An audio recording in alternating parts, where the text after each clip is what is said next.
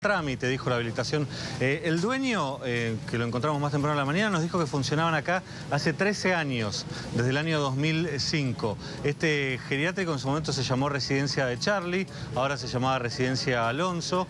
Los dueños están en este momento en la UFI 6 de Lomas de Zamora haciendo un descargo después de lo que sucedió ayer.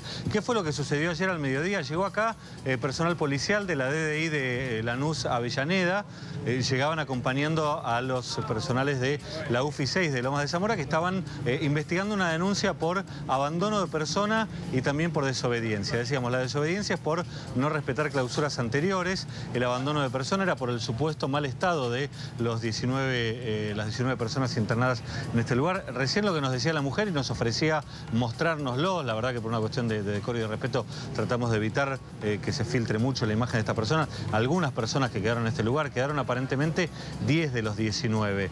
Según la empleada eh, de este lugar, Sonia Carrizo, que es además una de las seis imputadas en esta causa.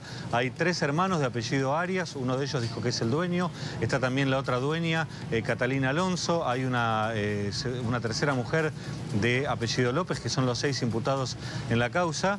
El lugar sigue funcionando con las personas adentro, según el dueño están al cuidado del personal de cocina y también de un médico. Acaba de llegar recién personal del PAMI, dijeron que vienen a hacer un relevamiento. Esta es una aclaración importante. El PAMI no tiene a este geriátrico, a la residencia Alonso, como uno de sus prestadores, porque de hecho, al no estar habilitado, nunca podría tenerlo como eh, prestador.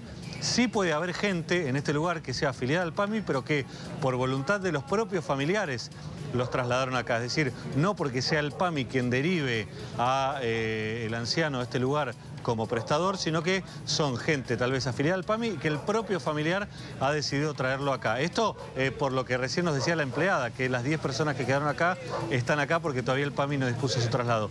Difícilmente lo disponga porque si están acá no es por disposición del PAMI, nos aclaraban, Para el PAMI ese lugar no existía. decisión de la... No existe, claro. Al no estar habilitado nunca puede eh, existir.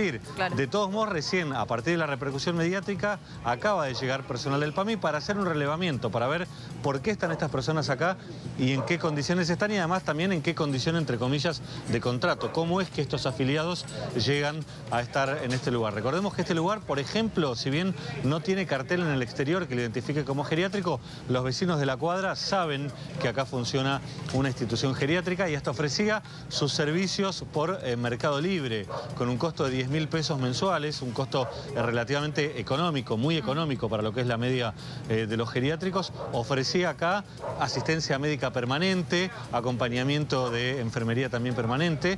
Eh, respecto de la enfermería, bueno, todavía no sabemos bien cuál es la situación. Recién lo que nos decía la empleada, esto es la palabra de la empleada, nos decía que hay por turno una persona de enfermería, uno durante el día, uno durante la noche.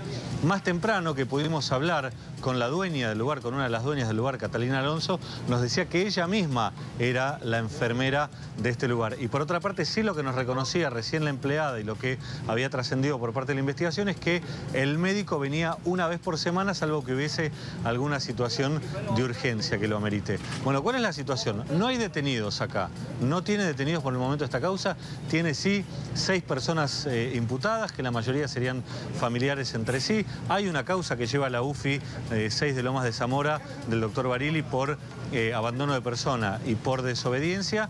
Y en el marco de esa causa los dueños están en este momento en la Fiscalía haciendo un descargo, pero no como condición de detenido, sino que ellos mismos se acercaron a la Fiscalía después, después de hablar eh, Guillermo Nuria más temprano con nosotros. Si les parece, compartimos lo que decían Catalina, Alejandro, dos de los dueños de este lugar más temprano. Dale, José, vamos a escucharlos. ¿La denuncia por dónde viene? Por, una, por supuesto maltrato. ¿Pero que era una empleada de acá? ¿El lugar cómo estaba funcionando? ¿Tenía habilitación? Porque trascendió estaba clausurado hace tres años. Estaba clausurado, pero si no hubiese estado clausurado como dicen, no hubiésemos seguido. Han venido inspectores el año pasado, el mes pasado también, siempre inspectores vinieron. ¿Cuál es la situación legal de ustedes ahora? Estamos haciendo eso en ese momento para, para separarlo. ¿Por qué no tiene ningún cartel afuera, nada que lo identifique como geriátrico? No, porque nunca se nos dio, ¿viste? No... ¿Ahora quién está cuidando de estos abuelos? Está la enfermera y personal de cocina. ¿Están todos adentro los abuelos? La mayoría sí. ¿Ustedes van a seguir funcionando como geriátrico? Por supuesto que sí. No nos vamos a dar marcha atrás. ¿No, se van a trasladar las personas que están acá? ¿Cuántas enfermeras ¿Y no? ¿Cuántos abuelos quedan? Diez. ¿Usted le echa la culpa entonces a esta empleada que hizo trascender las imágenes? No sabemos, pero no importa. Vamos a averiguar total. ¿Ustedes van a seguir trabajando mientras tanto? Para eso vamos a, así abrimos y seguimos con lo mismo. Incluso pueden hablar con los familiares, que los familiares nos apoyaron bastante.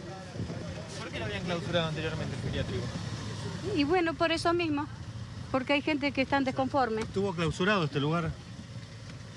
En ningún momento, En ningún momento fue clausurado. en ningún momento. No me- ahora sí, ahora sí está clausurado. Anteriormente no. No, no, no, no, no. Se hizo el descargo y seguimos trabajando. ¿Sabemos quién es? No sé quién es. Bueno, y Guillermo Nuri, aquí acaban de llegar de la Fiscalía, entendemos, eh, la señora Catalina es una... Eh, señora, contenos, ¿qué hablo con la Fiscalía? No, ya vienen. Queremos saber bien si se puso al tanto de la causa. Sí, estamos al tanto de todo. ¿Cómo están? Cuéntenos cuál es la imputación. ¿Qué quieren saber? Un segundo si lo podemos... Ahora sí lo, lo hacemos prolijo y llevamos claridad. Señora, bueno, ustedes son las dueñas de acá del lugar. Sí. Lo que pasa es que ustedes, discúlpenme, no que el nombre en general, no dicen lo que tienen que decir. Por eso le preguntamos. No han acusado de que tenemos cuatro muertos. Pero queremos que nos explique Eso no se dijo hoy, por lo menos. ¿eh? Quere- Queremos que nos explique. ¿Nos puede explicar cuál es la situación Explíquele Por legal? Una, por una denuncia Una denuncia. Una ¿Qué, denuncia. ¿Qué le dijeron? de una em- ex empleada que ¿Y tuve. esa denuncia por qué? ¿Qué denuncia? ¿Una cuestión laboral o una cuestión general del...? Sí, lo que pasa es que lo tomo como represalia. Señora, aclárenos, ¿qué es lo que desmiente usted, por favor? Ahora, No, que estamos trabajando bien y la gente no... Sí, pero eso dijeron en un noticiero a eso de las 18 horas. Bueno, ¿Cómo está pero la situación de habilitación del local? No, está bien, tenemos que ir a hacer el descargo, pero nos mandaron a La ¿Está, Plata. está habilitado o no? Sí, está habilitado. ¿no está en ¿Está trámite? Habilitado o está en trámite la habilitación? Está eh, habilitado ya de hace muchos años. ¿Y por qué ¿Por qué entonces la faja de que se clausura? fueron? Lo sacaron la familia por la policía. Nos dio dos horas la policía para sacarlo. Pero a vos te parece que en dos horas se situación? ¿Podemos La policía. repasar cómo fue la situación? ¿A qué hora que- llegó la policía? ¿Qué les pidió? A las... Ale, a las 11 habrá llegado. a ver, usted 11 de la noche. De la mañana. 11 de la mañana de ayer. Sí. ¿Y qué es lo que vio? ¿Qué es lo que les dijo a ustedes? ¿Por qué, los, ¿por qué tienen esta imputación de abandono? Por abandono, supuestamente por una denuncia. Seguimos. Aquí está... ¿Se van a ir todos, todos los adultos mayores se van? Sí, los, los llevan a PAMI. llegaron, llegaron de PAMI para retirar a los abuelos. Sí, llegaron, ya viene la persona. ¿Cómo va a seguir a causa? Y ahora, vamos, ahora, ahora vemos.